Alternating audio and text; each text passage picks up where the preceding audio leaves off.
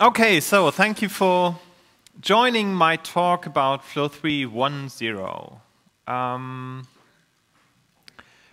I hope that for some of you this won't be too boring because there are quite a few of you who already looked into Flow 3 during the last few months. And this will be a talk about giving you some overview about the key features, um, showing some gimmicks. You can also win something if you like to, uh, if you can answer some questions. Um, so it's full of excitement and other boring stuff. Um, if you're here for the very first time, my name is Robert Lemke. I am your host today. Um, I've been part of this community for a few years. Since recently, I have a second daughter. That was a very good investment. Um, it costs some sleep, but nevertheless, you get a lot of it. Uh, for example, some real world bugs like a flu or what, whatever they carry home. Um, yeah, but I'm, I'm a really happy father and uh, still have time to develop a bit. And so I give you an overview of Flow 3.1.0 as we are going to release it uh, in two weeks from now. So as I mentioned today in the keynote, uh, someone came up with the ter term Flow3 as a web application platform. Um, Marketing-wise, probably a nice idea, but as I said, um, somehow we need to differentiate Flow3 from the other frameworks uh, so, so you know what you can expect. Flow3 is really not the type of framework where you can just pick your favorite feature and extract it from the framework and use it standalone. Um, this is really the case with most other frameworks. Um, in Flow3, there is object management, and we have aspect-oriented programming, security framework. All these things are really tightly working together and giving you some nice user experience while you're developing. So you cannot just um, use single parts of it. On the other hand, it's modular enough that you could backport most of the features to version 4, sometimes even before we finished programming them. For example, the command line uh, support I'm going to show you has been backported before I finished it. I didn't even announce it, and then it was, yeah, it was backported during the developer days, I think, or uh, at least I heard about it, but it was far from being finished. So anyway, it's, it's very good that the features and the techniques we produced in Flow 3 are going back also to the uh, version 4 branch uh, in form of Extbase and, and some other core enhancement. But keep in mind that this is um, kind of half of the truth. So it's um, you learn the new techniques and you have a lot of new ways to develop in Vision 4 now with Extbase.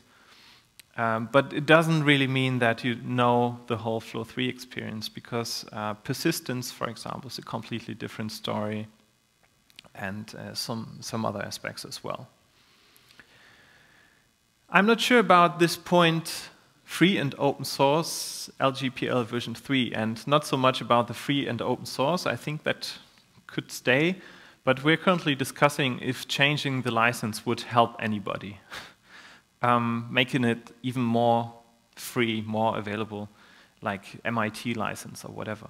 So if you have some opinion about it, if uh, LGPL is a problem for you and you would like to have MIT license instead, then just uh, let us know um, because we have some contributor license agreement, so anybody working for Flow3 has to sign that, we have the opportunity to change the license afterwards to something more liberal, for example.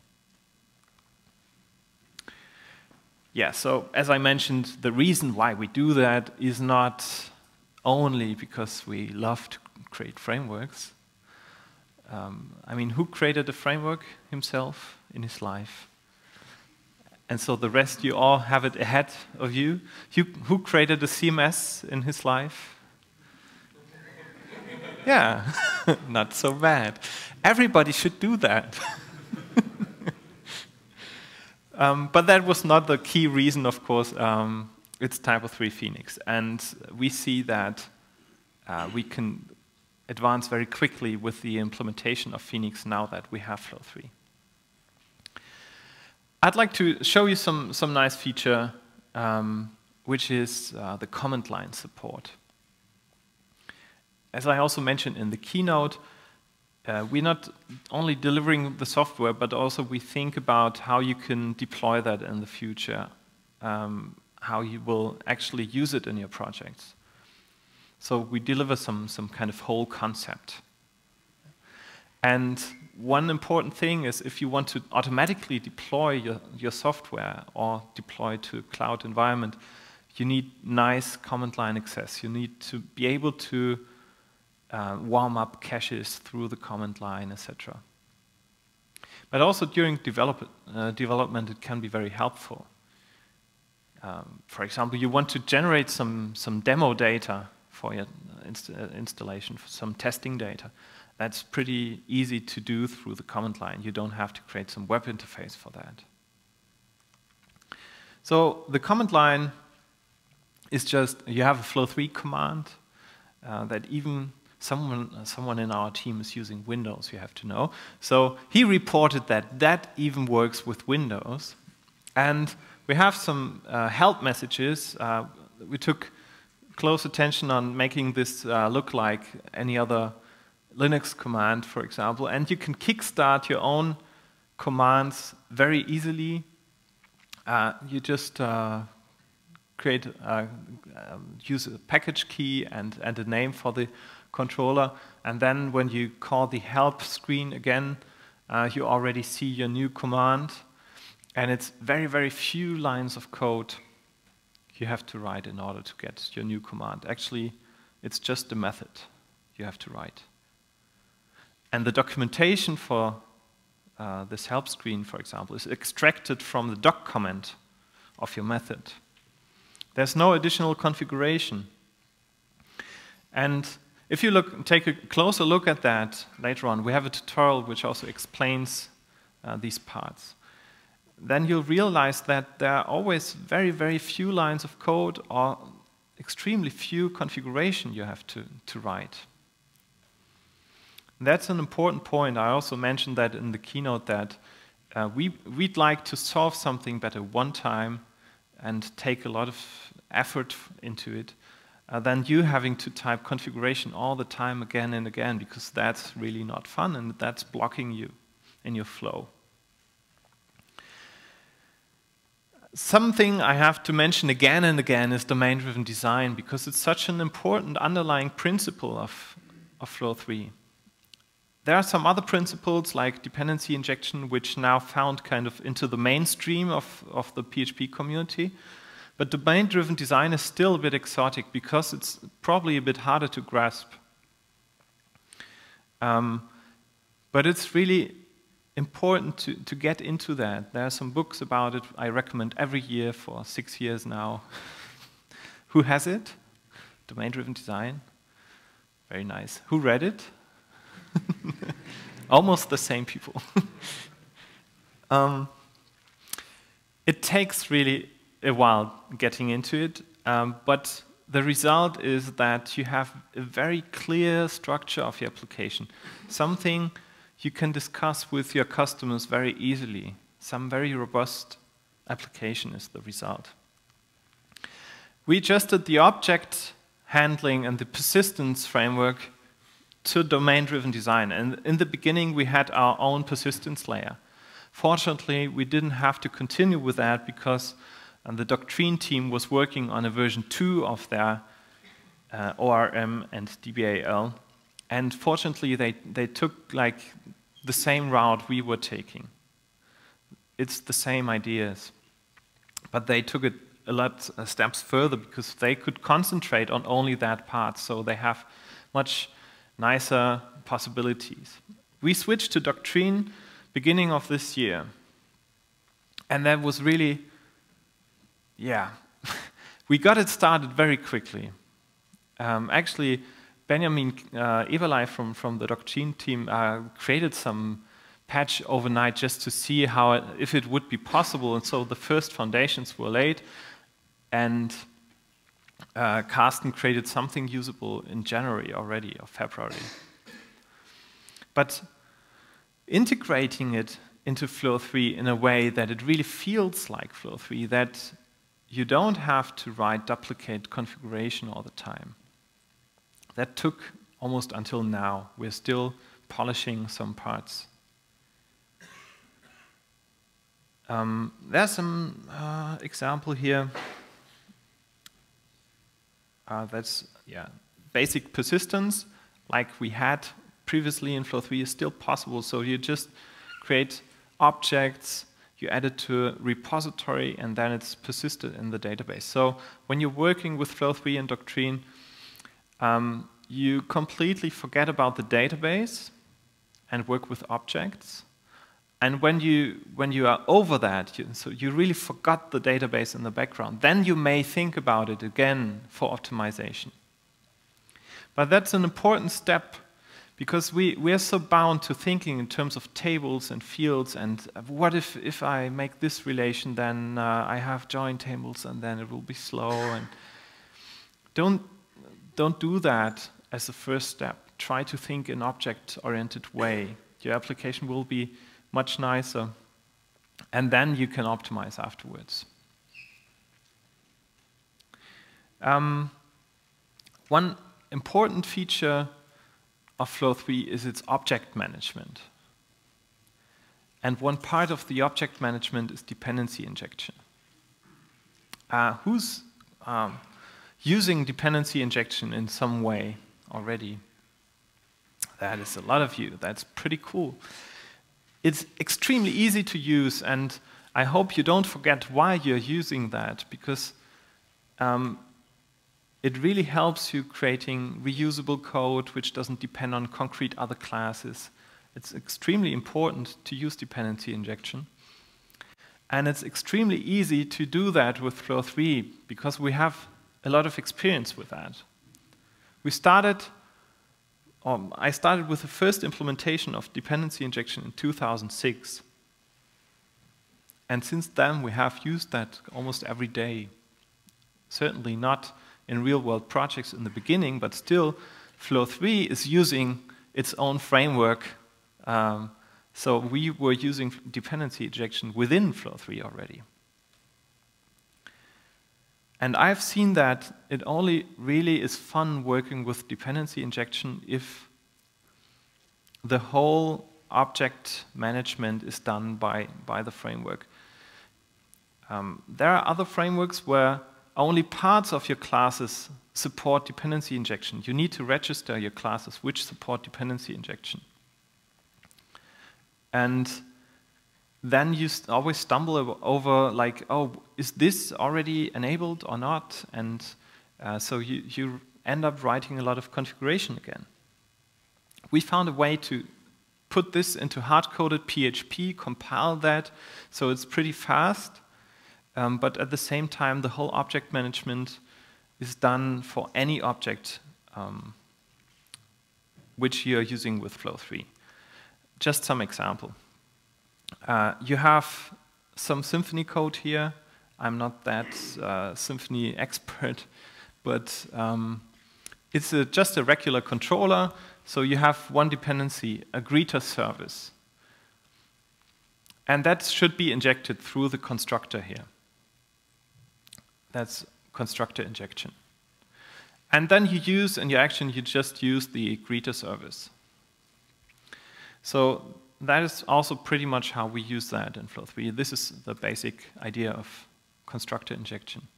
Now, when you use that uh, in Symfony, you need to define that the greeter service exists and what class uh, it's using for its implementation you also need to define uh, that the demo controller is a service and that the first argument of the constructor needs a greeter service.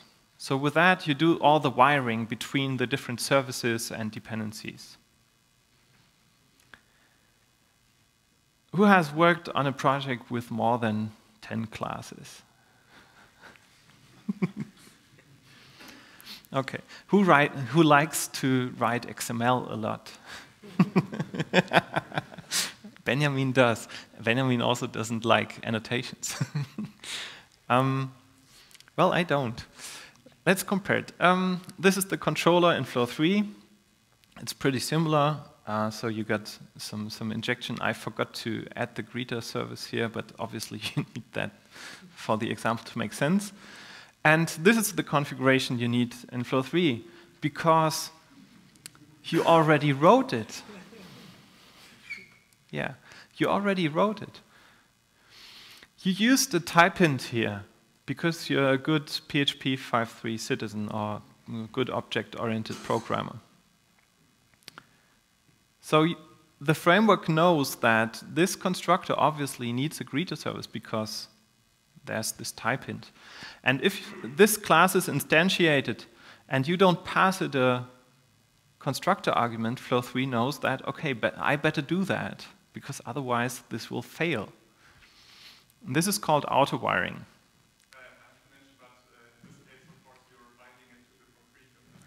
That's true, so you better use a greeter service interface. Yeah. So, but um, if you use a greeter service interface, Flow3 would check, is there some implementation of the greeter interface, uh, greeter service interface in the system? And if there's only one implementation, it will just choose that, because that would be probably the right choice. If there are two, and you didn't configure which one to choose, then you get some error during compile time before you deliver that to your client. Good point. um, some other example, um, we have also setter injection that's also commonly used in other frameworks. So instead of the constructor, you can use inject greeter service in this case. So setter injection means that you use a setter method, of course. So it should be uh, set greeter service. But if we want to do auto wiring, if Flow3 should recognize that this is your injection method, um, it cannot know if it's allowed to call that setter method. It could be like uh, set bank account amount, or you know, it could be dangerous setters the framework better shouldn't call. So we made the convention that if you name your method inject something, and if it has exactly one argument, which is some service, some object it knows of, then this is supposed to be an, an, injection method. And then you can be sure that as soon as the demo controller is instantiated, this method is called, and then you see missing the greeter service again, but then it would be available immediately in your action. Now, um, as I said, in 2006, I started with it. Since then, I have written a lot of these methods. And um, certainly, your IDE can support you with some templates, and you don't have to write these methods again and again. But after all, I found even that is a lot of typing. So we came up with property injection. Um, here you got the greeter service as a property. It can be protected, private, as you like. And you use the var annotation here to document which service you need. And then you just add some inject annotation here. And that's enough for Flow 3 to know that there should be a service in there, it should be injected. And it's not even slow, because in the beginning we used uh, PHP's reflection API, because uh, this is protected, so you need to set it somehow from outside. We don't do that anymore because we have some compiling uh, going uh, on in the background. So the resulting code for this injection is just this greeter service equals object manager get greeter service. So it's like as if you coded that yourself. It's extremely fast and it's cached. So this is nothing going on during runtime which is evaluated or something. These are the simple examples, of course. Um, if you want to inject just a concrete service like the greeter service or some customer number generator service, as I uh, showed today, there are more complex situations. Um, imagine you want to inject a cache then you need some more information. What kind of cache should that be? Should it be uh, file-based or in the database? And what exact cache do you mean? There are some other examples. You could inject a web service for Flickr, for example. Now you need some more information, username, password, or API key, whatever. Um, and so you need to configure that object before you inject it. And for that, you still can use configuration. So this is one of the more complex examples, um, just to show you um, what you could do. In this case, we define that there's something called RSA wallet service interface. So you program against an interface and not a concrete class. In your code, you would just write inject uh, RSA wallet service and use the interface as a type hint. So when you re refer to that, here's the definition that the actual implementation should be this class here. That should be a singleton, so it should only exist once in the whole system, one instance in the system. And this service has a setter called uh, inject key store cache or set key store cache, depends. And Flow3 should call that setter and uh, pass it some object. And that object is not some direct object, some direct instance of another service, but it's the result of a factory method call. The factory should be the cache manager, and the method called on that cache manager should be get cache. And get cache requires another argument, which is Flow3 security cryptography RSA wallet, which should be passed. And so you get the result of this whole chain injected if you only refer to this interface.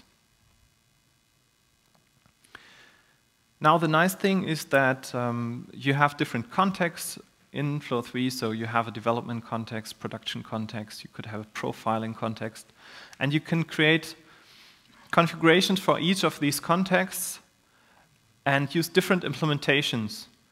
For sending emails, for example, you could configure your email transport uh, to send emails to your customer in the production context and the development context to your own email address. And just by switching the context, by using a different subdomain, for example, uh, you would be sure that while you're testing your application, only you get the emails. Um, I mentioned in the keynote that um, there are some challenges we, we face and things uh, we didn't think were possible. And as I said, the object management is considering all objects and the whole life cycle of the objects. I had this example also previously. Um, so again, um, I, I, don't know, now that you've seen a bit more about dependency injection, this example might make more sense to you. If we instantiate the customer, then this must be injected really before we use any other method on the customer.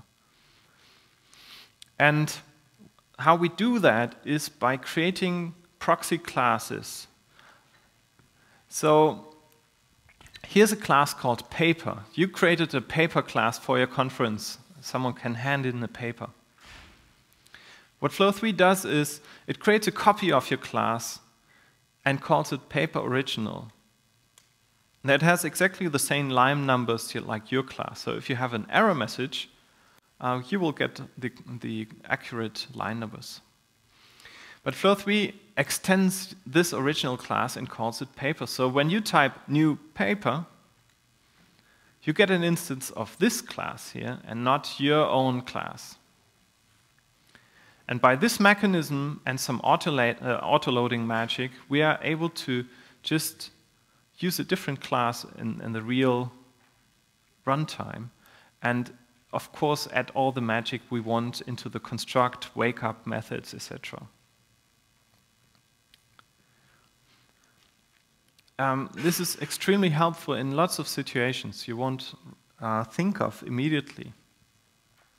Imagine you have uh, some, some shop, you have some items you can buy there, some articles, and each article has certain objects which are attached to it, um, probably some, some uh, t-shirt size, and etc., colors, etc.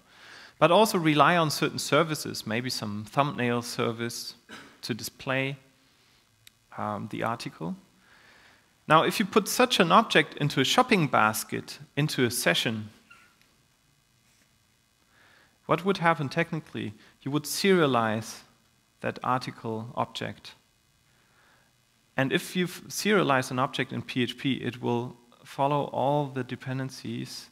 So eventually you would serialize flow 3 and put it into your session. Very nice.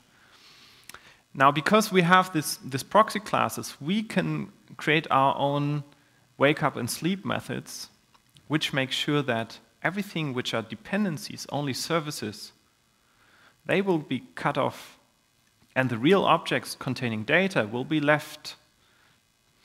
And then you serialize everything, put that into your session, and when you unserialize it again, Flow3 knows that there are dependencies which need to be re-injected. So you just call unserialize again, and then you get the whole object with all dependencies back again.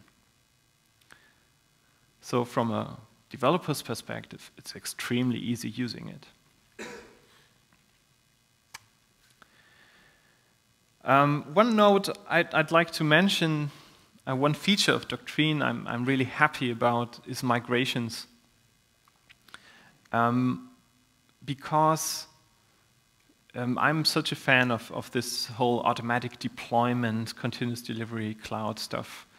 And when you do that, when you automate your deployments, then you need to be sure that everything works fine. And if, if it doesn't, you need the possibility to roll back during the deployment. If something goes wrong, you don't want a half-finished release on your live web server. And Doctrine migrations allows you to create little scripts, which are, it generates some, some some initial script for you, which does all the database structure changes. And not only the new version, but also the version how you can get back to a previous version. So there's always an up and a down migration. And this allows you to do something like, I have a model with uh, a person and it has a property called name. Now, after a while, I realized that this was a stupid idea because it would be better being able to distinguish between first name and last name. So I can create some migration. I, I create two new properties, first name and last name. And then in my migration, I add some additional code which takes all the existing data, parses the names, and puts it into the new first name and last name properties. And now when I deploy my application, this migration will be executed automatically and all the data will be migrated. And that also works backward when you provide the code that you could also merge first name, last name again to just the name property, and that would work fine. Right. Um, another key feature, not bad.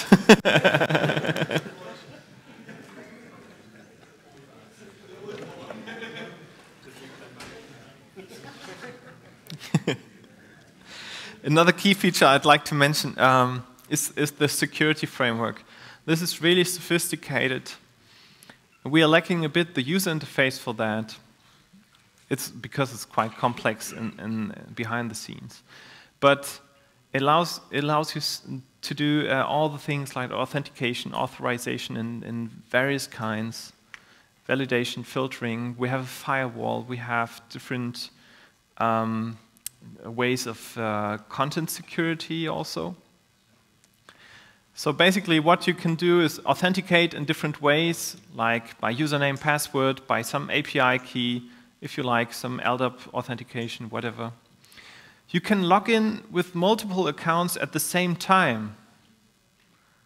Now, why does that make sense? In TYPO3 context, that makes a lot of sense because you can log in into the backend and with a different account into the front end at the same time.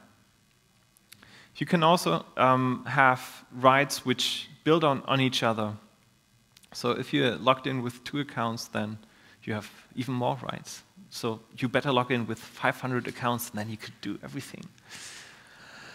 Um, authorization is done directly in your code. So if you have some action and don't want someone to call the delete action, Flow3 will automatically insert some code in this proxy class, which intercepts method calls.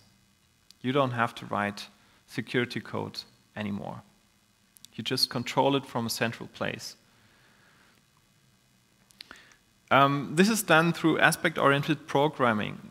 As far as I know, uh, Flow3 is the only framework in PHP which really uh, thinks that that should be used and this makes it possible in a nice way.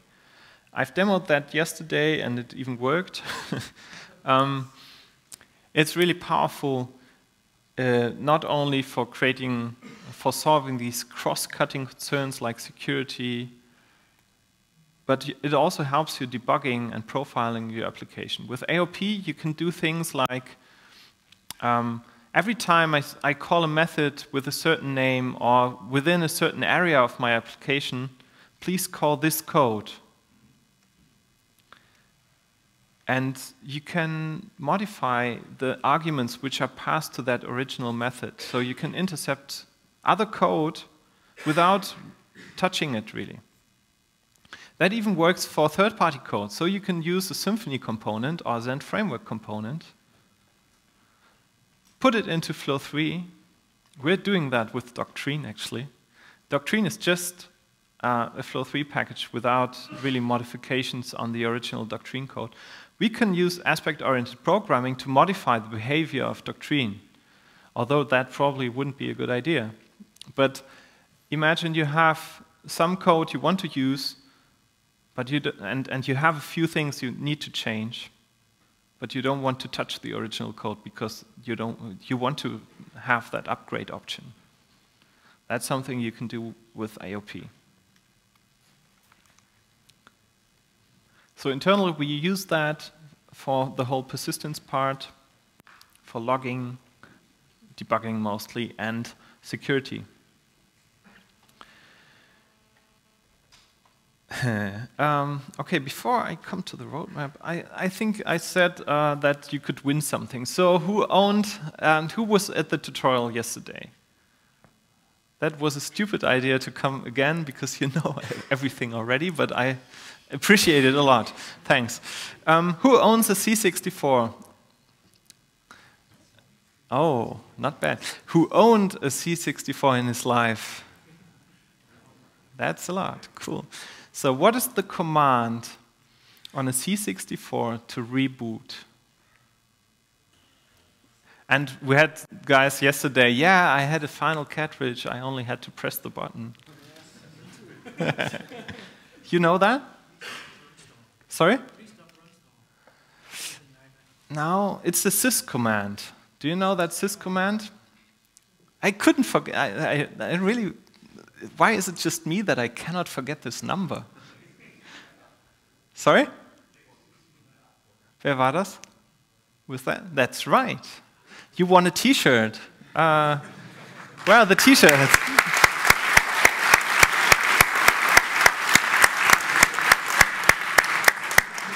Yeah, cool. You won a t-shirt. So let's see. Uh, we have some C64 support in Flow 3. Should I share that with you? Yeah. Uh, let's see. Um, obviously, if you look into the uh, help, it won't appear there. I have my coffee example here still, which reminds me of coffee. But um, you, you have that situation that sometimes you need to flush the cache, right? Um, actually, in TYPO3 Phoenix, we don't plan to have that clear all caches button anymore because that should happen automatically. But still, um, sometimes you just want the whole system to reboot.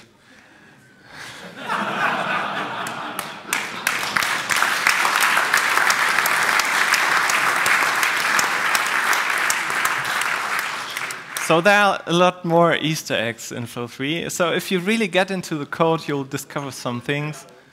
Um, yeah. Let's see if we come, come up with some new emulation next time. Now you know the shortcut. Okay, um, thanks. Uh, the roadmap. the roadmap.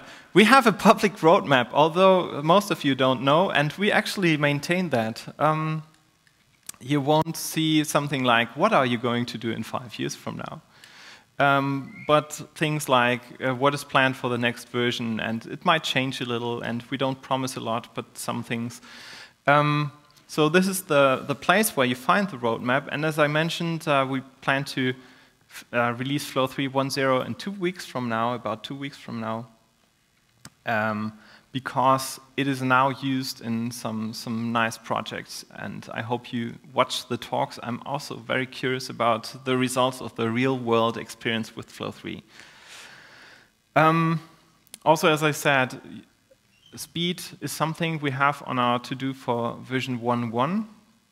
We're doing some profiling. We have some, some plans to rewrite the reflection service, which is a big uh, speed problem at the moment, but still, it's um, totally okay to run a conference website. and speaking of the conference website, if you want to go into Flow 3, why not just download the conference website? We have all the source code from our conference management system, Phoenix-based, um, at Git. Just download it, install it on your computer, and uh, take a look at the uh, code examples. Some uh, probably were made in a hurry, certainly, but um, still there's a lot you can discover. My personal blog is also going to change. Um, it's still, I'm, I'm this brave guy uh, using Flow 3 for years now for my blog, and uh, I'll transform that to a Phoenix website because uh, as you've seen um, in, in, the keynote, we now have a user interface which really makes it fun to, to maintain a website. We have a quick start tutorial, which is qu quite new. Um, and we're improving gradually the documentation. Also, um, uh, we plan to create a completely new website, and um, it's a bit, yeah, we, we, see, we'll see how, how much time that will take, but um, we hope to have that out soon, and you'll have some very nice um, Phoenix website with documentation of Flow 3 rendered. Right. So, would there be any questions or any answers you can give me? Who, who plans to uh, use Flow 3 this year for some real project? some hands go down again. no, again, who, who plans, considers uh, Flow 3 for a real project this year? That's about 100% more than last time I asked at the conference. this is, it's really cool. I'm, I'm honestly uh, a bit surprised again and again when I see in the, in the Flow 3 IRC channel uh, people like, yeah, and uh, in this customer project I'm currently working on, we have this and that, and people are actually using it. That's pretty cool. And um, keep in mind, if you're one of the first 300 users, you get that uh, priority support by us. Uh, we'd really like to, to see happy users in the beginning and after that as well. and if you have any questions or suggestions, uh, just get in touch with me, and I hope uh, that you like it as we do. So, thank you.